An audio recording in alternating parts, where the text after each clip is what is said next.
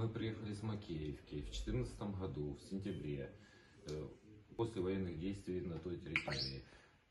Живы проживали до этого времени в Броварах. Ну Вот. Уехали, они еще были очень маленькие. Сколько? 8 и 10 лет детям было. Вот. Ну и потихоньку по Украине вот ездили, ездили, остановились в Броварах, а теперь здесь. Здесь мы уже 10, 10 дней. Здесь они э, семья. Да, семья. Мгм.